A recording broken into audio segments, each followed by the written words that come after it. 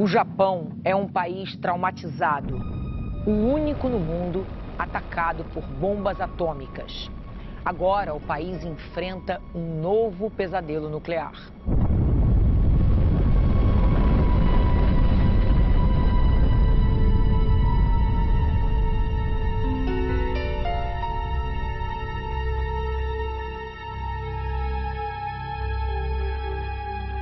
Depois da tragédia causada pelo terremoto, seguido de um tsunami, uma explosão destruiu a estrutura de concreto de um dos reatores da usina de Fukushima, localizada no nordeste do Japão.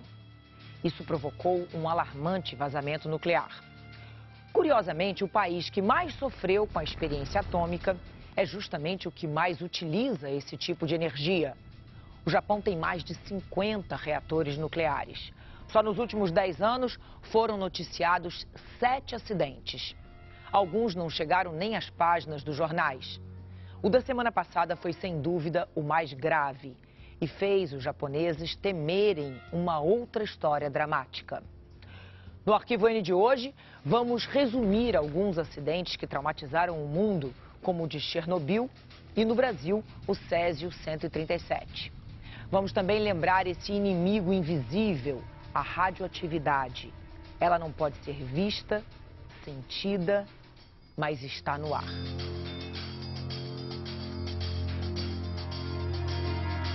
A descoberta do núcleo atômico foi uma das coisas mais importantes. Inclusive, este ano está fazendo 100 anos da, da descoberta. É um, ano, é um marco importante e que é, foi o princípio de todas as aplicações que se possam imaginar da energia nuclear. Energia nuclear tem diversas aplicações, mas esta aplicação para geração de energia elétrica é uma das muitas aplicações da, da energia nuclear. A energia nuclear se aplica na agricultura, medicina, na indústria, é, no meio ambiente e em outras é, áreas é, da, da, da humanidade. Uma usina nuclear nada mais é do que uma instalação industrial que converte energia térmica gerada nas fissões em eletricidade que nós usamos no dia a dia na nossa, na nossa casa.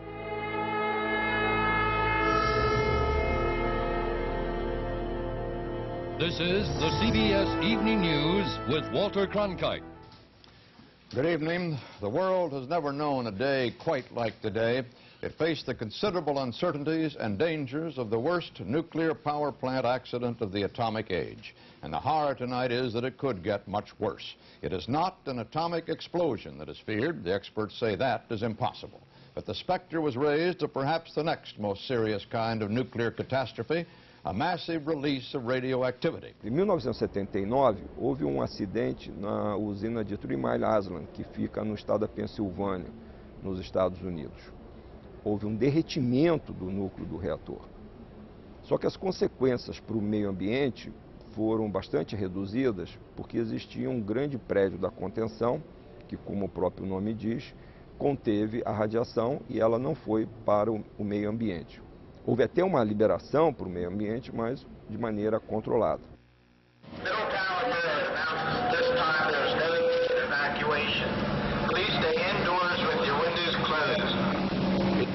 At 6.40 this morning and lasted until 9 o'clock. Another unexpected and substantial release of radiation into the atmosphere from reactor number two. It produced a huge cloud of radioactive xenon gas and radiation levels 10 times the amount considered safe for the general public to be exposed to in a full year. When civil defense authorities learned about what happened, they immediately advised all citizens within a 10-mile radius of the plant an area with a population of nearly 300,000, to stay indoors and keep all windows shut. We are simply asking everybody to be prepared to move, but do not move at this time. Uh, nobody is in any danger at this time. Um grupo de engenheiros da Comissão de Regulamento Nuclear chegou de Washington e detectou radioatividade a 2 quilômetros da usina. Mas o teor, eles disseram, não ameaçava a vida da população. O teor de radioatividade, informaram os engenheiros da usina, é o mesmo que uma pessoa recebe quando faz um exame de raio-x. Mas os agentes do governo estavam detectando índices mais altos. Agentes federais informaram que a usina tinha cometido 22 infrações na área de segurança. A usina negou as acusações. Na sexta-feira, a situação complicou. uma nova onda de radioatividade escapou da usina. Os técnicos disseram que tinha sido previsto. O governador disse que não. Mas o pior viria só no fim do dia. Foi quando engenheiros da usina e agentes do governo federal admitiram que o centro do reator poderia derreter. O presidente Carter estava numa visita política no estado de Wisconsin, quando falou pela primeira vez sobre a crise atômica da usina nuclear da ilha de Três Milhas. O problema era sério, disse ele. Não estava ainda resolvido, mas estava sob controle. Jimmy Carter conhece pessoalmente o problema. Em 1949, quando estava na Marinha, ele recebeu uma dose grande de radioatividade, quando supervisionava a limpeza de um acidente nuclear numa usina. Quando uma pessoa é contaminada, ela pode ter desde uma queimadura na pele, queimadura forte, até ter ao longo da sua vida um aumento da probabilidade de ter um câncer. Porque a radiação nuclear, ela interage com as células benignas do corpo humano e podem causar, pode causar alguma deformação nessas células e isso evoluir para um câncer. Ela, se for uma pequena quantidade, pode até ajudar. É o caso do tratamento de câncer através da radioterapia. Numa grande quantidade, ela prejudica, que é o caso de um acidente nuclear, onde as pessoas ficam muito expostas à, à radiação. Every day, we receive tiny doses of radiation from the sun, cosmic space, the food and water we consume, and the air we breathe. The amount of exposure is measured in millirems, and from the everyday sources, the average American absorbs about 100 millirems a year. A normal chest x-ray can add about 10 millirems. The total is still far below the 5,000 millirems a year considered allowable by the government. 200 yards from the site of the Pennsylvania leak, radiation was measured at 30 millirems, equivalent to three chest x-rays. A relatively small dose, but large enough to raise concern over the long range. Scientists still can't agree on what, if any, amount of radiation is safe. But they do agree that the longer the exposure to even low levels of radiation, the greater the risk. Flórida, fevereiro de 1980. O sistema de controle da usina de Christian River deixa vazar 15 mil litros de água radioativa. A água não saiu do prédio, mas os níveis passaram 10 vezes do limite que o homem pode suportar. Suruga, Japão, abril de 1981. 56 empregados contaminados pela radiação nuclear quando 46 toneladas de lixo atômico escaparam de dois tanques. Rochester, Estados Unidos, janeiro de 1982. Uma explosão espalha água na usina e provoca uma nuvem de radioatividade na atmosfera de pequenas proporções.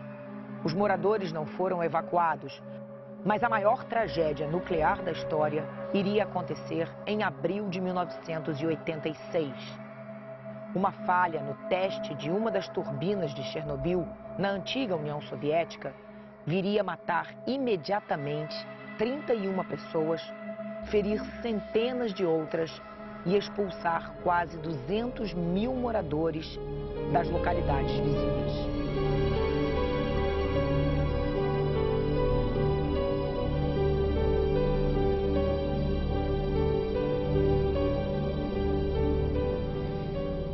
26 de abril de 1986, o reator 4 da usina nuclear de Chernobyl explodiu. Mas poucas pessoas souberam. Os líderes da ex-União Soviética tentaram esconder o que tinha acontecido.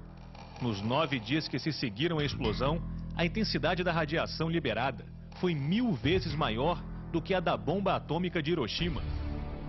Chernobyl foi o maior acidente nuclear em uma usina, quer seja na gravidade do ponto de vista de segurança nuclear, quer seja do ponto de vista do número de vítimas, quanto da área atingida.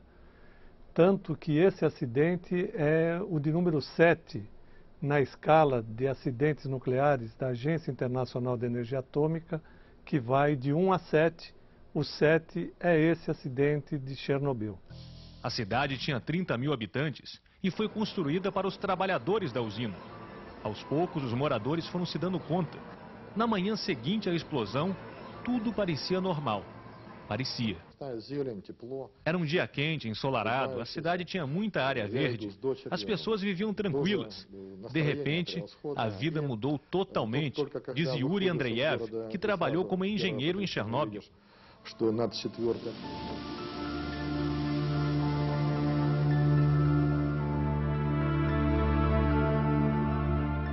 Foi para começar, os russos da então União Soviética não divulgaram imediatamente. A comunidade ficou sabendo apenas quando a radiação foi detectada na Noruega, ou na Suécia ou na Noruega. Então apertaram os russos e aí veio. Realmente foi um choque muito grande e isso abalou a, a confiança das pessoas na energia nuclear, porque por mais que se fala que os reatores russos eram diferentes, que não tinham uma, uma proteção chamada contenção, ah, é difícil convencer as pessoas desse medo imaterial que surge.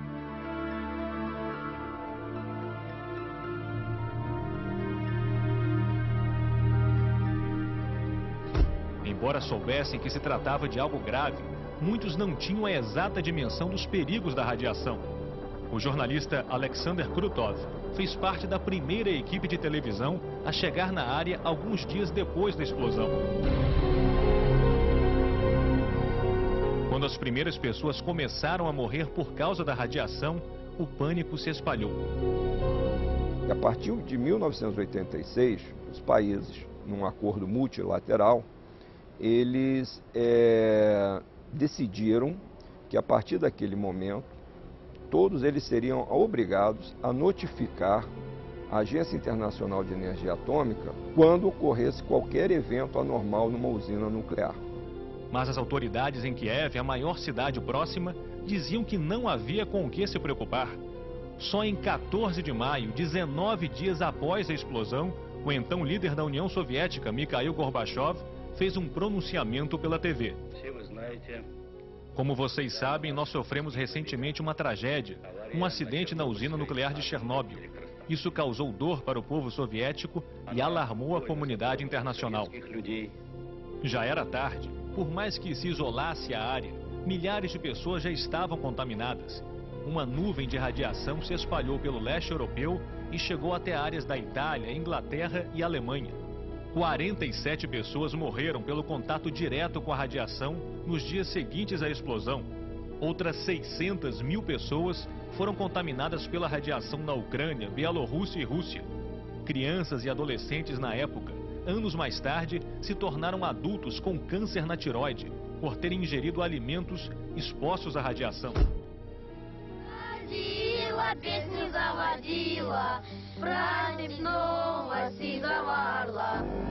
Hoje, cinco anos e oito meses depois, a guerra contra as consequências da tragédia de Chernobyl está sendo travada num cenário surpreendente. Um país pobre e pequeno da América Latina. Cuba. Aqui, as vítimas inocentes do desastre nuclear recebem como primeiro tratamento as flores e o carinho das crianças de Cuba. Esta menina cubana procura entre os soviéticos um novo amigo a quem quer entregar uma flor. Um gesto de amizade que ela quer espalhar para todos, até para nós. Elas vão direto para a cidade dos pioneiros. Logo na entrada, uma mensagem de esperança para quem já sofreu tanto. Somos felizes aqui. Nesta cidade, que pode abrigar até 16 mil pessoas, vivem hoje 1.400 soviéticos. A grande maioria, crianças entre 2 e 18 anos. As menores de 7 anos, em geral, vêm com a mãe. O contato entre duas culturas tão diferentes produz cenas interessantes. No princípio, os grupos de crianças lembram suas próprias tradições.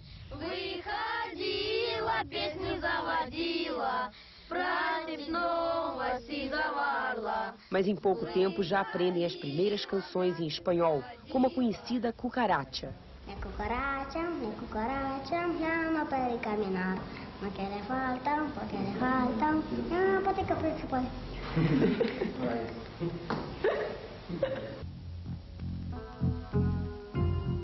A aparência saudável dessas crianças esconde uma marca cruel e invisível da tragédia de Chernobyl os traumas psicológicos.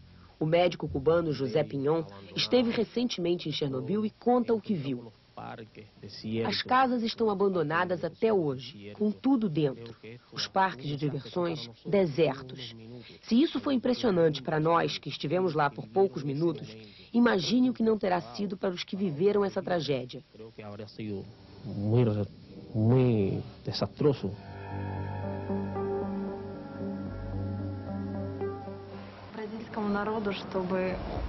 Continuem lutando pela paz como sempre fizeram. Não permitam uma guerra nuclear e evitem o desenvolvimento das armas nucleares. Espero que o mundo inteiro seja uma grande família de harmonia e simplicidade.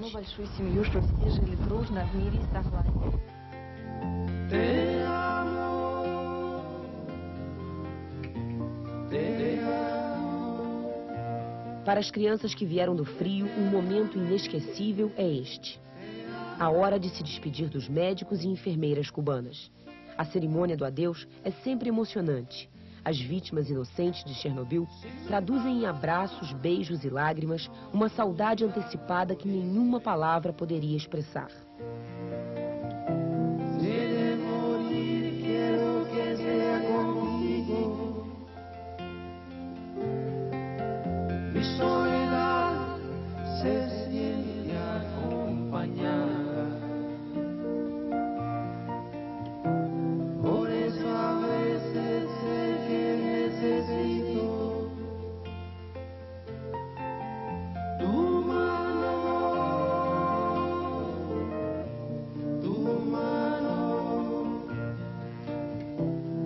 O Brasil também viveu o pesadelo da contaminação radioativa em setembro de 1987.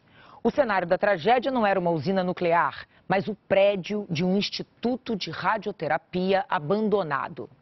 Os principais personagens dessa tragédia eram dois mendigos, o dono de um ferro velho, sua família e seus amigos.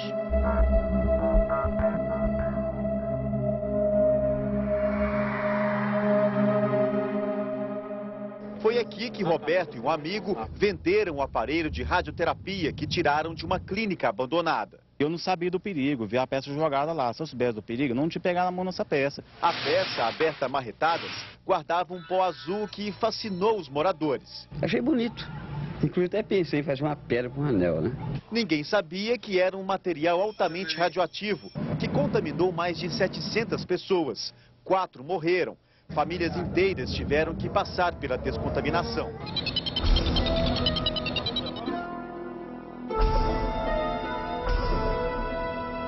Da minha família já morreram seis pessoas nesses 23 anos. Né? duas foram de, de síndrome de radiação, a Leide das Neves e a Maria Gabriela morreram um mês após o acidente, após o contato delas com o material radioativo. E daí para cá morreram mais quatro pessoas. Eu toquei um material, fragmentozinho de metade de um grão de arroz, mais ou menos, de Césio 137, e passei na palma da mão, e aí sim me contaminei. E essa contaminação que eu ali recebi, eu levei para casa e irradiei a minha mulher e filhos. A equipe da Comissão de Energia Nuclear montou hoje uma nova estratégia de ação. Os técnicos agora estão medindo o grau de radioatividade nas áreas isoladas. De oito, apenas três ainda indicam focos de contaminação. Os técnicos se protegem com roupa especial, usam equipamentos que também foram utilizados em Chernobyl. Este é um aparelho que pode fazer a medição à distância. Neste local, o nível de radiação ainda é muito alto. O normal seria encontrar índice zero. A Comissão de Energia Nuclear decidiu hoje que a cápsula de Césio que provocou todo o acidente vai continuar por mais alguns dias aqui em Goiânia. A cápsula está isolada num bloco de concreto dentro deste prédio da Vigilância Sanitária, onde ninguém pode entrar. Só na semana que vem, a comissão decide quando a cápsula será enviada para São Paulo, onde será feito um estudo minucioso por técnicos da Comissão de Energia Nuclear. Esse material inicialmente foi colocado dentro de tambores, caixas metálicas, até contêineres marítimos. Depois foram reembalados, colocado também dentro de embalagens de concreto, que foi colocado dentro de uma piscina de concreto, todos esses concretos certificados do ponto de vista de vazamento, de, de resistência física, e foram colocados dentro de, de um morro, tá, na qual você coloca por cima terra para poder evitar a erosão do, do, dos containers e por cima da terra você põe grama para evitar a erosão da terra. Então você tem, na verdade, cria-se oito barreiras de engenharia do SESI para o meio ambiente.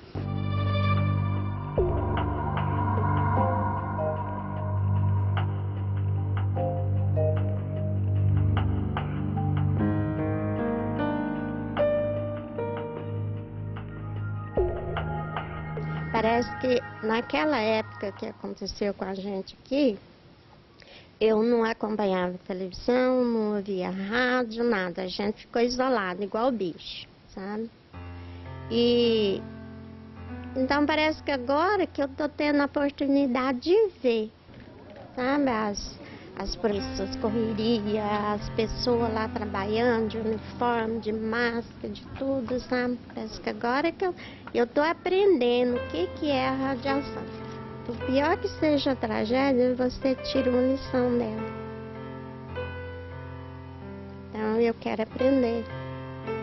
Eu nem, nem tinha ouvido essa palavra radiação. Eu nem sabia do que se tratava, o que, que era. Hoje eu já sei, eu vivo na pele.